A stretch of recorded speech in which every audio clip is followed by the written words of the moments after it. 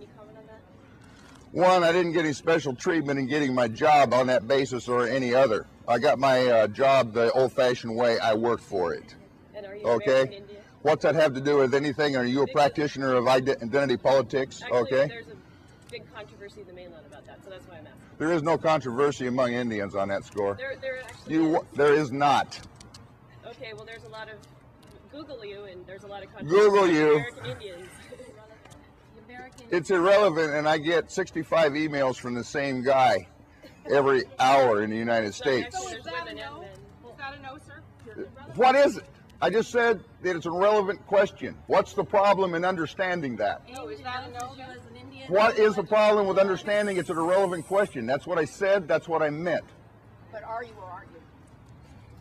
It's an irrelevant question. Can you spell irrelevant? Thank you. Did you, did you in a, in a, Excuse me? No, I'm not. I- You take it's an irrelevant no. question to no, I'm not? I, I did, I guessed that you'd say yes if it weren't. Self evidently, I am. Now it's an irrelevant question. Self-evidently, what does that mean?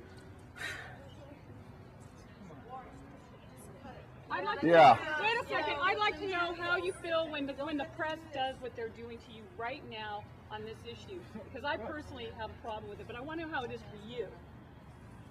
Because this is a question people like to get hung up on, and I'm sure it's what's going to be on the news tonight. This is flatly racist diversion from the nature of the issue. Yes. How is it racist if we're asking you if you're American Indian or not? Um, Would know- you ask? George Bush to prove he's white? I think he's answering. Who would you ask aside from an American Indian? Would you ask a black faculty member to, for proof of African ancestry? Indians have denounced you, so that's some places, so that's why we're I can find white people who have announced George as being something of a mixed nature too. Does that make it something you're going to frame as a question to the President of the United States? And if not, why are you framing it to me? That is, you know, Professor Churchill has, uh, has answered that question uh, multiple times, and as you can hear from the crowd reaction to the back of me, uh, I think that is an No, example. actually, actually, let me come back for a second.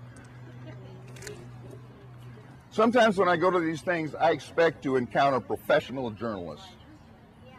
All right? If you want to know about some federal pedigree slip, you call the band office in Tahlequah, Oklahoma, like you're doing your job. Okay?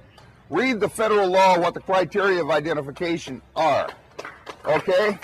And see if, when you read your cohorts in the Rocky Mountain News, if they haven't established that I've been identifying the same way since I was a 10 year old little boy. Self identification is the first criteria.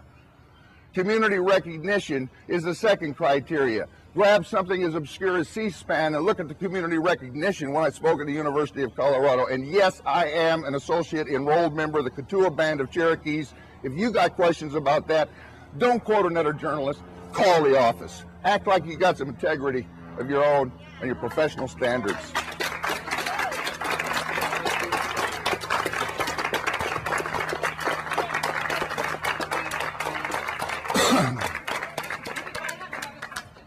I have another question for the professor.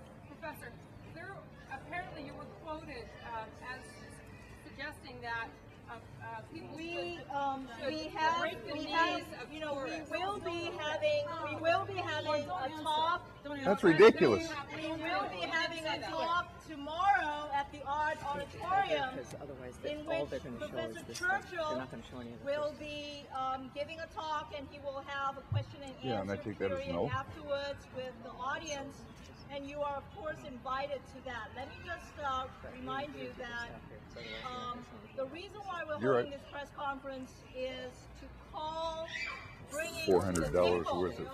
You do not have to behave in the way that Bill